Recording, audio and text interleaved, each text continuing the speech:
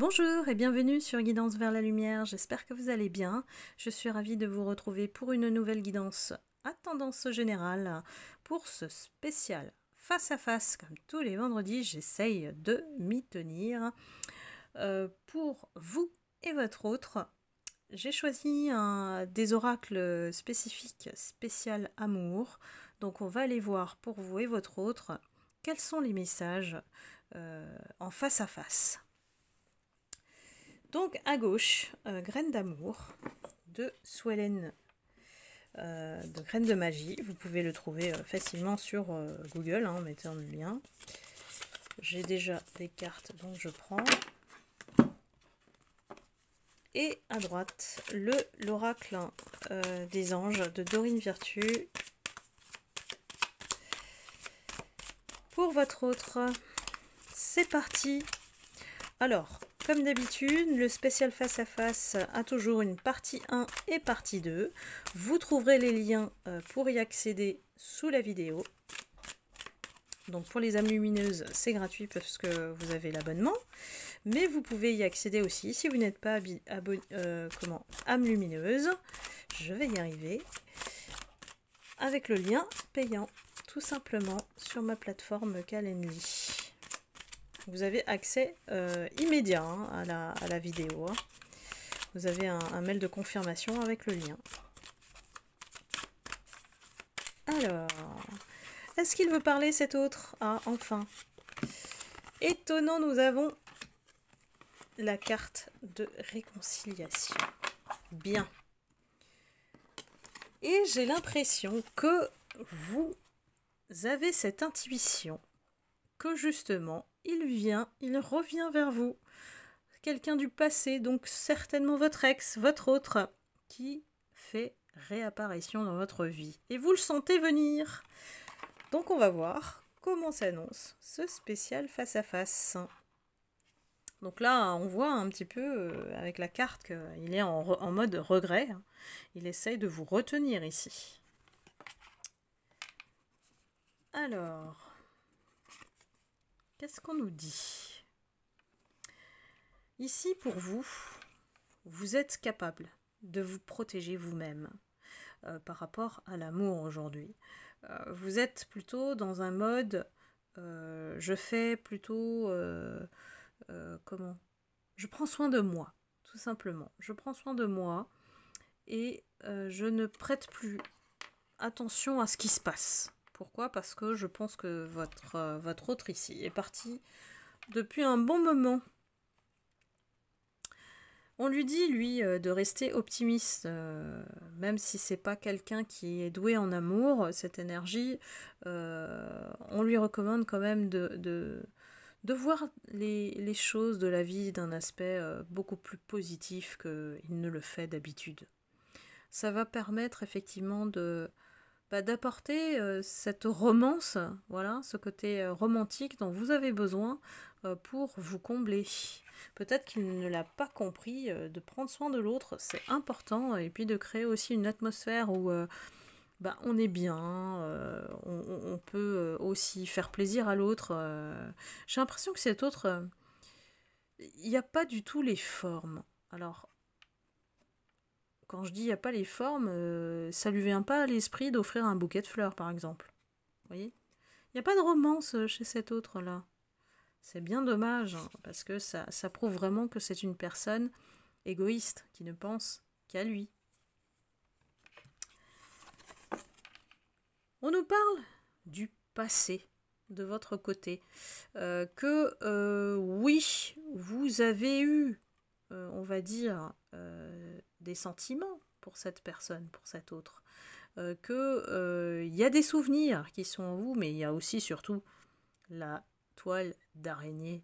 C'est-à-dire que votre autre, on va dire que c'est lui au milieu qui essaye de vous attraper euh, en tissant cette toile. Peut-être que c'est comme ça que vous l'avez vécu, cette relation, et que bah, ça n'a pas pu se faire, justement parce qu'il a voulu vous posséder ou bah, vous mettre des choses pour vous retenir euh, dans sa manière de faire, de le faire venir vers lui aussi. Euh, ça n'a pas été très euh, naturel ni sincère. Vous ne l'avez pas senti comme ça. Euh, effectivement, lui, sa manière de, vous charmer, ça a été beaucoup de d'être dans l'enfant, dans l'enfant en fait. C'est l'enfant intérieur qui, parlait beaucoup, qui s'amuse, euh, ou alors c'est quelqu'un qui effectivement peut avoir des enfants qui euh, ont peut-être ben, mis à mal votre lien, votre relation, et c'était difficile à gérer pour vous. C'est quelqu'un qui a peut-être priorisé les enfants euh, qui sont dans sa vie, euh, contrairement à vous. Vous voyez, il y a plusieurs euh, options possibles.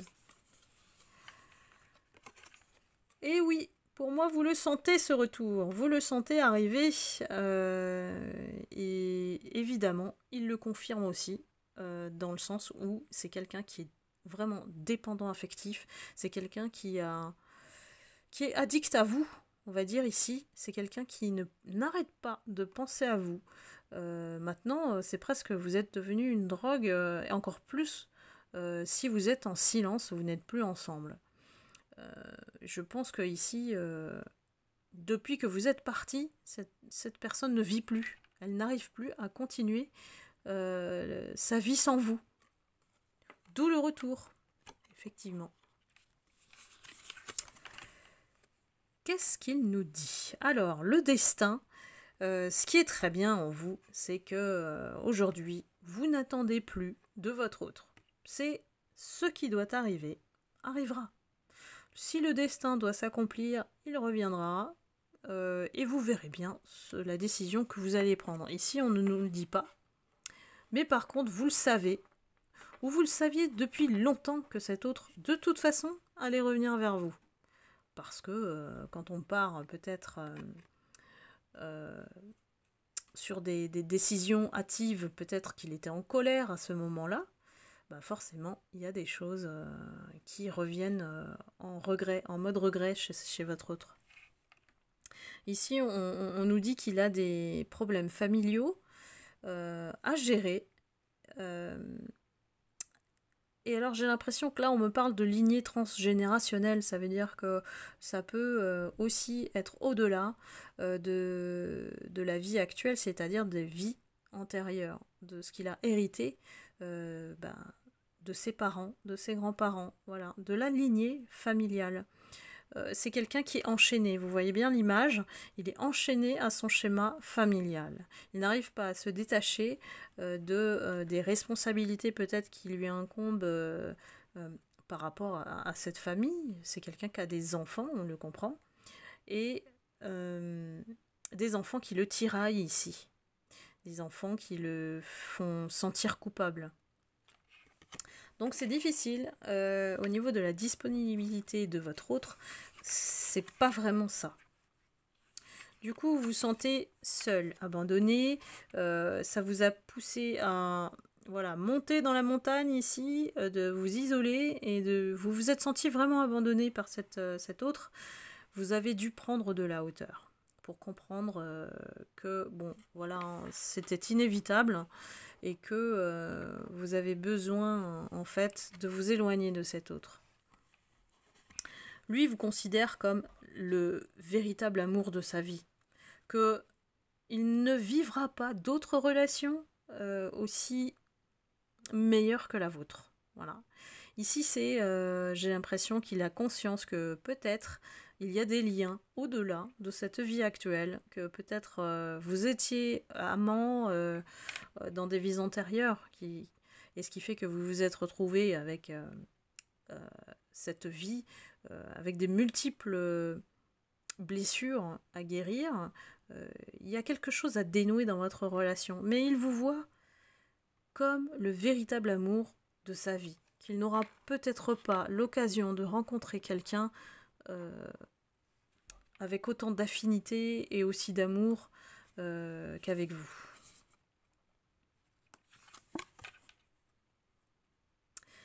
Ici, il y a des choses qui sont voilà en dehors euh, de la relation qui jouent contre ce lien.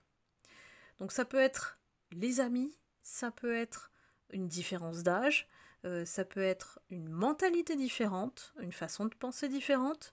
Euh, ici, il y a beaucoup de choses qui vous séparent, on va dire. Euh, vous, vous avez besoin d'être entouré d'amis voilà, fidèles, sincères, dont la loyauté est vraiment prouvée. ce qui peut-être cet autre n'a pas fait preuve hein, de cette amitié, parce que la base d'une relation saine, c'est quand même quelque part d'être bien euh, et de se respecter en tant qu'ami déjà. Lui, il a beaucoup de choses qu'il arrête dans votre relation. Peut-être qu'il y a des choses, euh, ou alors votre, votre côté aussi spirituel, il ne le comprend pas. Il n'arrive pas à à vous capter, à vous cerner, euh, ce qui fait que ça déséquilibre euh, effectivement son sentiment de, sécurité avec vous. Peut-être que c'est pour ça qu'il est parti, hein, euh, qu'il n'arrive pas à comprendre qui vous êtes, comment vous fonctionnez. Ça peut être une autre dimension, voilà, vous êtes dans la 5D, lui il est dans la 3D, donc c'est difficile effectivement de se comprendre. Vous, vous avez subi euh, ce break, cette pause, euh, le silence qu'il a mis entre vous. Et euh, ça vous a fait mal en fait, cette pause. Cette interruption qui, qui n'était pas prévue en fait hein, dans, le, dans le, le, lien que vous avez vécu, qui pour moi je ressens était intense. C'est pour ça que vous n'arrivez pas à l'oublier. Hein et que peut-être hein, vous, savez euh, que vous êtes lié à cet homme ou à cette femme, voilà, peu importe, euh, vous interchangez, euh, par beaucoup plus de choses que vous ne le pensez. Pourquoi vous êtes toujours en train de penser à lui C'est un mystère en fait, c'est un mystère et vous, êtes persuadé que ce lien est alors très fort voire de flammes jumelles, mais il y a un destin en fait qui vous lie. Et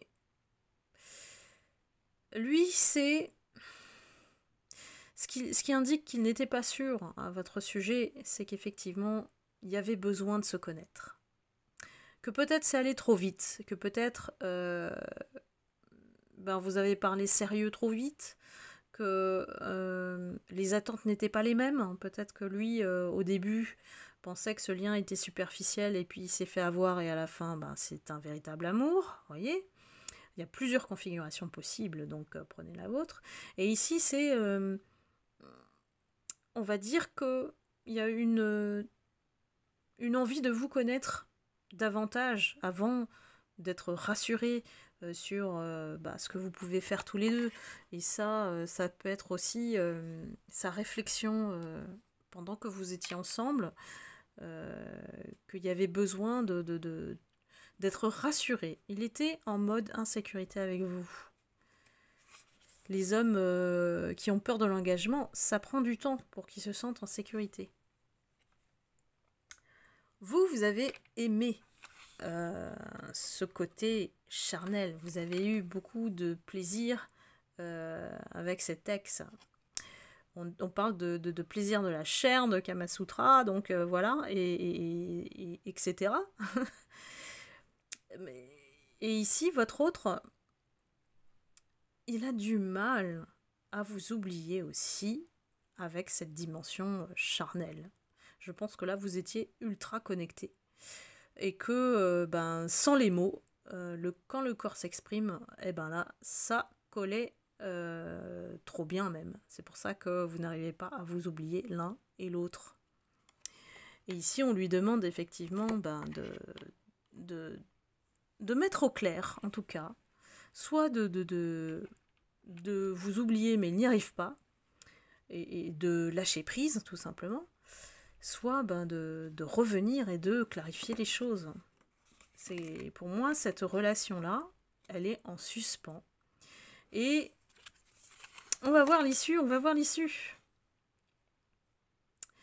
Vous, vous étiez au courant que cette personne, bah c'est pas clair, c'est mystérieux, qu'il y a de la cachotterie, qu'il fait des, des pieds et des mains pour vous cacher les choses. Et ça, vous n'aimez pas. Vous n'aimez pas les secrets. Ça, ça fait pas partie de l'amour pour vous. et que s'il revient, on va dire que ça c'est non négociable. Ça veut dire qu'il va devoir se, mettre, son âme à nu et d'accepter de travailler sur la relation. Lui aussi, il a envie de donner une chance à euh, une nouvelle chance à, votre lien et de pouvoir aussi peut-être euh, sur la même longueur d'onde de vous que vous de travailler sur ce lien, d'être plus clair. Euh, et, vous, vous allez lui reprocher ça, hein, puisque c'est en, face de la carte se donner une nouvelle chance. Donc plus de secrets, plus de cachotterie. Euh, ici, euh, c'est votre condition euh, lorsqu'il va essayer de revenir et de vous proposer cette nouvelle chance. Faites-le, hein. posez les bases, hein. posez ce que vous n'acceptez pas. Vous êtes resté célibataire, voilà.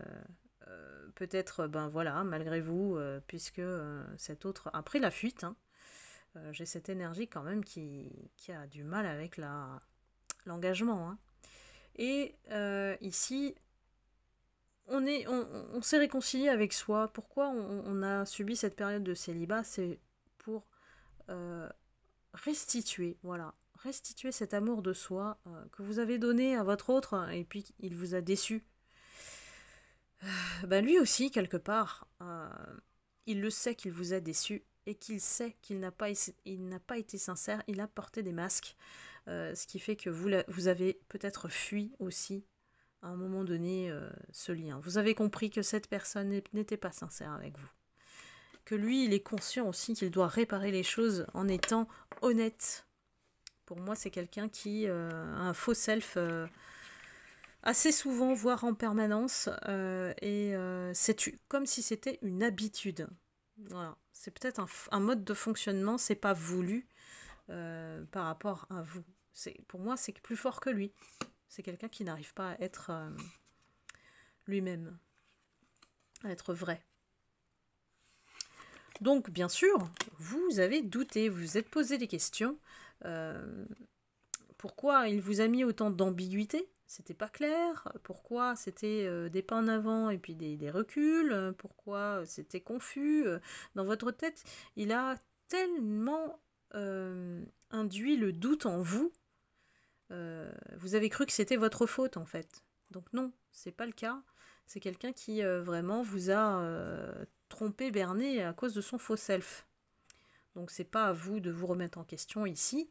toute l'interrogation dont on parle, c'est dû bah, au masque qu'il a porté et que ben, à chaque fois c'était pas clair hein, avec ses secrets. Hein. Et on me dit que ces secrets, parfois, euh, euh, c'est juste parce que il, a, il veut se sentir libre et il ne veut pas partager euh, ben, tout avec l'autre. Vous voyez, ça peut être vraiment réducteur, contrairement à ce que vous, vous pouvez penser, il vous trompe ou il a quelqu'un d'autre. voyez, lui, c'est quelqu'un qui est assez autonome et, un désir de sentir sa liberté, un désir d'indépendance. il ne veut pas reporter des choses à quelqu'un. Voilà, tout simplement. C'est propre à lui. Hein on nous parle de euh, son ressenti qu'il a vis-à-vis de vous, et ça rejoint euh, ce qu'on a dit précédemment, c'est que il est sûr que vous vous êtes déjà connu auparavant. Dans la vie euh, antérieure, dans il y a des signes, des similitudes qu'il reçoit,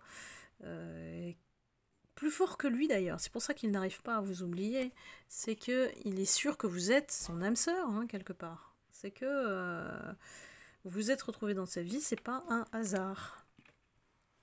Donc je vais arrêter euh, la vidéo pour la première partie. Euh, donc si vous souhaitez avoir la deuxième partie, n'hésitez pas à aller sous la vidéo pour cliquer sur les liens correspondants. Et puis je vais continuer ce spécial face-à-face passionnant. Et puis je vous souhaite euh, un excellent week-end. Prenez soin de vous surtout. Et je vous envoie beaucoup d'amour et de lumière. À très bientôt. Bye bye.